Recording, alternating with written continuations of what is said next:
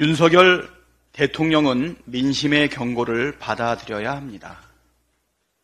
강서구 청장 보궐선거는 윤석열 정권의 폭정에 대한 국민의 심판이었습니다. 해행과 폭정을 멈추고 민생과 경제를 살피라는 경고였습니다.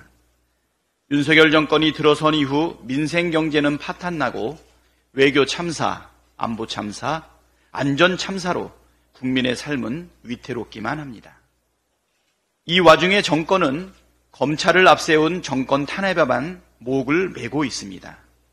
정치는 국민의 삶을 돌보고 모든 국민이 더 나은 삶을 누릴 수 있도록 해야 합니다. 그런데도 윤석열 정권은 정치가 해야 할 일은 하지 않고 하지 말아야 할 일에만 몰두하고 있으니 국민이 투표로 심판한 것입니다. 만일 윤석열 정권이 지금처럼 맹목적인 이념을 앞세워 국민 분열과 갈등을 부추긴다면 국민은 회초리가 아니라 철퇴를 들어 심판할 것입니다. 군주 민수라는 말처럼 민심은 언제든 권력을 뒤집을 수 있다는 점을 명심하기 바랍니다. 검찰이 어제 이재명 대표를 불구속 기소했습니다. 강서구청장 선거로 확인된 민심에도 불구하고 정치 탄압을 계속하겠다는 뜻으로 읽힙니다. 법원이 범죄 혐의가 소명되지 않아 구속영장을 기각한 백현동권을 기어이 기소했습니다. 명백한 공소권 남용이자 사법부에 대한 도전입니다. 범죄를 저질렀다는 뚜렷한 증거도 없이 제1야당 대표를 기소한 것은 기소의 목적이 죄의 유무를 가리기 위한 것이 아니라 기소 그 자체라는 것을 뜻합니다. 못 먹는 감 찔러나 본다고 증거가 있든 없든 무죄가 나오든 말든 일단 기소하고 법정에 불려나가게 해서 괴롭히겠다는 놀부 심보입니다. 검찰이 수사가 아니라 정치를 못되게 하고 있다는 비판을 받는 이유입니다.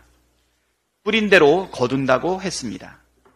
윤석열 정권의 검찰이 행하고 있는 사법 스토킹도 마찬가지입니다. 머지않아 고스란히 청구서를 받게 될 것입니다. 국힘당은 대선 공작 사건 주범을 즉각 징계하십시오. 2021년 대선을 앞두고 이재명 대표 측근에게 20억 원을 전달했다는 허위 사실을 공표한 조폭 출신 박철민 씨에게 최근 검찰이 징역 2년을 구형했습니다. 박 씨는 대선 전국을 뒤흔들었던 이른바 가짜 돈다발 사건의 주역 중 한 명입니다. 가짜 돈다발 사건의 또 다른 주역인 장영아 변호사는 같은 해 10월 이재명 대표가 조폭으로부터 돈을 받았다는 이야기를 국힘당 김용판 의원에게 전했습니다.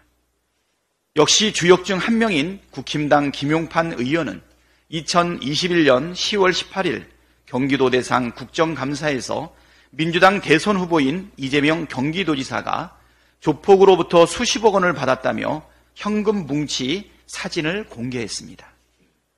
그러나 불과 몇 시간도 지나지 않아 이 돈다발 사진은 박 씨가 렌터카와 사채업 홍보용으로 찍은 사진으로 드러났습니다.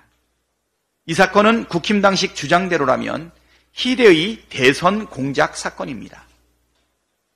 가짜 돈다발을 줬다고 주장한 조폭 출신도 이 가짜 돈다발 사진을 건넨 장영하 변호사도 가짜 돈다발을 공개한 의원도 모두 국힘당 측 인사인 점에 비춰보면 국힘당의 조직적인 대선 공작이었다고 보는 것이 합리적이지 않습니까? 지금까지도 국힘당은 김용판 의원에 대한 아무런 징계 조치를 취하지 않았습니다. 가짜 돈다발 사건이 국힘당의 조직적인 대선 공작이 아니었다면 김용판 의원을 감쌀 이유가 전혀 없습니다. 국힘당은 김용판 의원에 대해 엄하게 징계하기 바랍니다. 국회 윤리특위에도 김용판 의원 징계안이 제출되어 있지만 아직 논의조차 되지 못하고 있습니다. 대선 공작이 명백한 만큼 신속한 징계안 처리를 국힘당에 촉구합니다.